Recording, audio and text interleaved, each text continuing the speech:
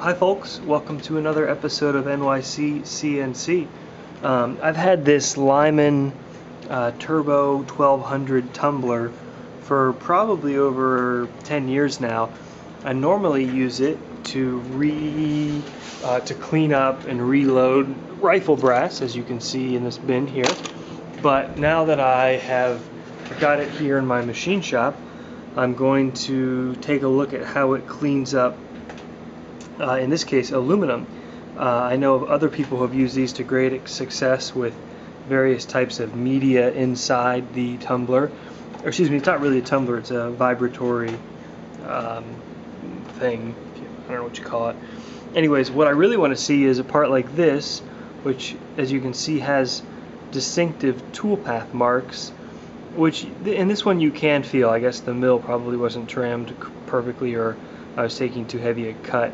Um, so, so those are a little bit deeper than average, but also you can see on the edge there, there's some, uh, there's a little bit of a burr, and uh, I just want to see, you know, what it does aesthetically to the part.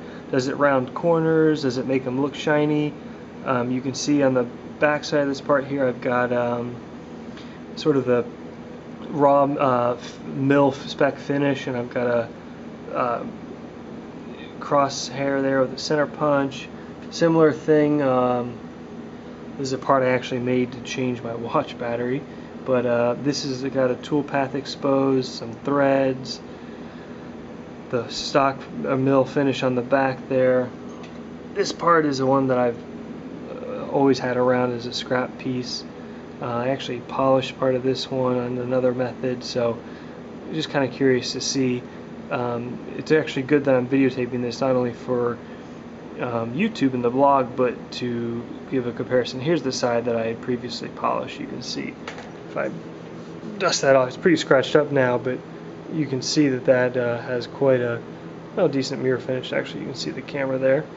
And then lastly, I just took a piece of, looks like this is 3 8 inch aluminum, which I had turned on the lathe as a, looks like a scrap thread single point thread mistake and I'm curious to see what it does to a piece of round stock. So I'm going to put these in the tumbler, let them run um, overnight, about eight hours, which is not uncommon to do with rifle brass, um, and come back in the morning and see how they look. A quick um, update is that I don't, I know there was some original media that either came with a tumbler or I just had from so long ago. I've I purchased some of this, which I thought it said what it was. Here we go. Yeah, it's called corncob green. Um, but that's I mixed that in with this. So if you can see, there's some lighter specks in here, which um, I think a lot of them have probably dirtied. Or you can actually see some more of the lighter spec stuff in in the bin here. That's a mixture of something old that I don't remember, along with this green corn cob. So uh, I'll be back in the morning and let's see how, how it looks. Alright, it's morning now, about 8 hours, 9 hours later, and the um, parts do not look good. It doesn't look like the uh, vibra vibratory tumbler did much. Um, I want to take a quick shot here, and then um, what I'll do is just go rinse them off under the small chance that that improve some of the surface finish, but you know, didn't deburr this part at least much. Tool paths are definitely still there, so let me go rinse these off real quick. Okay, rinse them off. Um, at first, I didn't think there was really any change at all, and I had written off for the time being the usefulness of at least with the um, this tumbler, at least with this type of corn cob material. However, I did notice if you look at the inside bevel of the uh, threaded hole there, um, that some of the um, areas of the aluminum which were previously sort of cleaned up and polished now have quite a nice. Here's another example the um, bevel on the uh, edge of that piece of round stock do have a nice sheen, which kind of makes sense because the way this material works uh, when cleaning up rifle cartridges, which are brass, is uh, it is able to shine or polish an existing uh, piece of brass, which is sort of already clean. In other words, this is more of a light polish than, say, uh, an abrasive some uh, grit, if you will. So let me do some research. Let me see. Maybe you know I've already I already own the tumbler, which is um, I think it was a couple hundred bucks or maybe a hundred bucks. So maybe you know a ten dollar bag of new media will get some better results. I'll be back. The first type of tumbler media I am going to try are green uh, pyramid rust cutting uh, material from Eastwood. Um, I read about these um, and I, I was ordering from Eastwood for some other things, which is why I bought them here. Um, but basically, I've heard a lot of sort of good things about the uh, green pyramid style uh, media, so I thought I'd give them a shot. Unfortunately, I actually forgot to take a picture of it before I used it. They all used to be a brighter green when they uh, before I ran them, so they kind of look like this one, if you will. But um, now that I've run them, they're a little dirty. Um, that's okay. Apparently, you can use these all the way until they disintegrate and disappear. Um, my only complaint was these were a little bit expensive. It was two and a half pounds uh, media for 22 bucks, and that was not quite enough to um, for really for my tumbler. I probably should have had uh, at least another two and a half pounds. So I ran the parts in the green pyramid media for about three hours, and let's uh, let's take a look at how the parts turned out.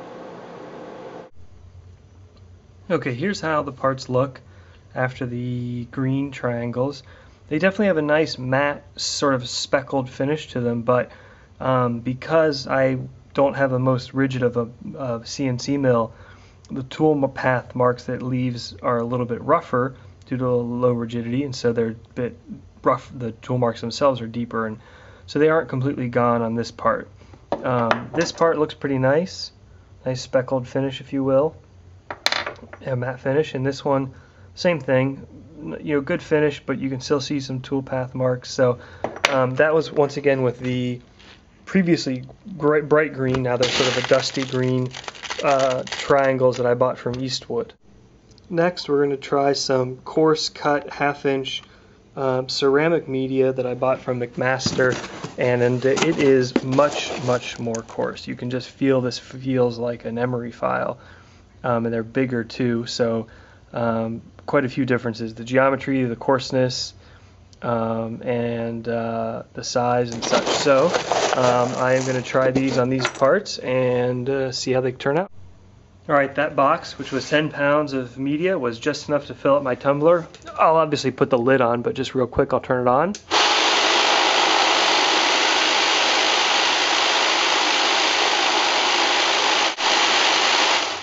So uh, I'll report back shortly.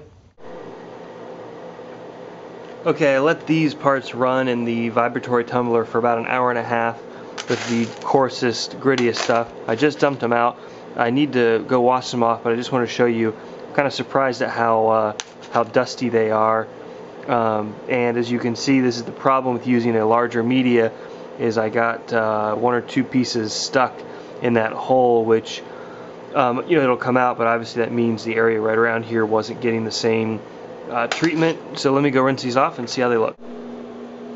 Very interesting results. They um, the parts kind of have become darkened by that um, by this material uh, and I kind of like it it's kind of a nice matte non-speckled finish um, it's I was worried that these might really knock off my corners and they rounded them off a little um, but not bad. And the tool marks are definitely much less. The parts are, smoother. Um, this one in particular I kind of like the look of it.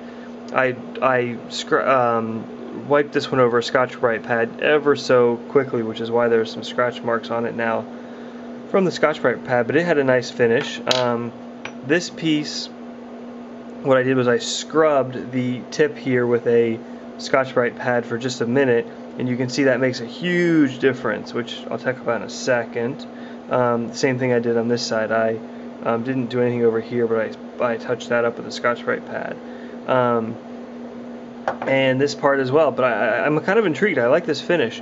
Um, the obvious you know bit with the Scotch-Brite pad tells you that you know what you I'm doing this sort of backwards. You should probably start with a coarse material like this, and then polish up with a finer material. Maybe go to the triangles, um, and then finish up with a rouge or um, corn cob, corn cob or walnut media.